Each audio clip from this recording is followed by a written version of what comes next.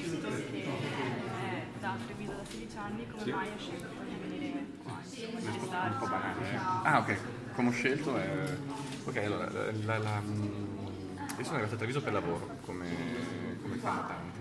E devo dire che quando mi hanno proposto di venire Treviso, io bene o male non sapevo neanche dove fosse Treviso, per cui ho preso la macchina perché ho bisogno di vederla e le cose. Sono arrivato in città e sono rimasto ammirato della bellezza della città. Ho pensato che è una bella dimensione, sono un ragazzo di campagna, sono nato in un paesino dell'Appennino, quindi ho pensato che era bello venire fare un'esperienza, un'esperienza che ormai dura da 16 anni.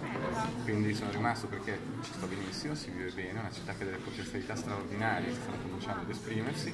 Ci ho fatto tre figli, per cui i miei bambini sono, sono nati qui e ho la fortuna comunque di essere foresto, per cui comunque vedo un pochino da fuori, uno sguardo un po', da, un po' distaccato rispetto a dinamiche cittadine. E come la vede? Visto che Treviso? Sì, Allora, quando sono arrivato era il 2001 e Treviso stava vivendo quelli che erano gli anni 80, quindi un po' in ritardo, aveva tutto questo entusiasmo, c'era un cantiere dappertutto, c'era il cantiere sulle mura, c'era il cantiere a piazza, quella che poi è diventata la piazza del quartiere latino, quindi si stava ricostruendo la città con un entusiasmo e un'incoscienza che, eh, come dire, ehm, hanno un pochino lasciato il segno nel corso del tempo, perché poi una ricchezza arrivata così forte, una, una società cambiata così in fretta, io nel periodo in cui guardavo al supermercato dove erano prodotte le cose, ed erano prodotte a Treviso, mediamente, quello in cui c'era scritto, poi magari con un altro marchio. Quindi una- sono degli anni che hanno cambiato la società. Si è andati avanti, è, cambiata- è cambiato un po' tutto. Dal 2008 è cambiato il mondo perché c'è stata la crisi economica globale, anche Treviso è cambiata e sta cambiando. E sta cambiando in un modo che secondo me supporta quella crescita economica vertiginosa che c'è stata prima. Ovvero sta arrivando la cultura. Eh, siamo a Carta Carbone, quattro, quattro anni eccezionali di questo, di questo festival, un successo che non neanche gli organizzatori si aspettassero. Ricordo bene quando è partita la prima, la prima edizione, quindi vedere le piazze piene, vedere la coda a Santa Caterina per, per gli incontri era qualcosa di inatteso.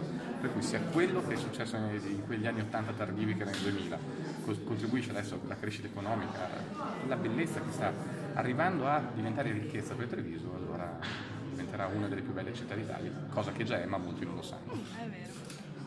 E abbiamo detto anche che lei scrive gialli. Come mai questa scelta, visto che si è laureato in giurisprudenza? in giurisprudenza, faccio comunicazione, quindi scrivo Esatto. gialli. Scrivo gialli perché credo che sia un genere nobilissimo, il giallo, è un contenitore dove nel momento in cui tu rispetti delle regole basilari, che sono quelle di metterci un omicidio, comunque un caso di partenza, un investigatore, un'indagine e una soluzione che nel giallo rassicura il lettore, quindi costruisci, costruisci il, il contenitore, dentro ci puoi mettere qualsiasi cosa. Puoi raccontare delle cose leggerissime, eh, delle storie di quattro vecchietti al bar che giocano a carte, come qualcuno magari ricorderà, o delle storie molto pesanti, thriller, adesso esce ad esempio al cinema La ragazza della nebbia di Carrisi, che è un thriller vero, oppure L'uomo di neve di Nesbo, un altro thriller pesante, sono sempre gialli, eh. la costruzione è sempre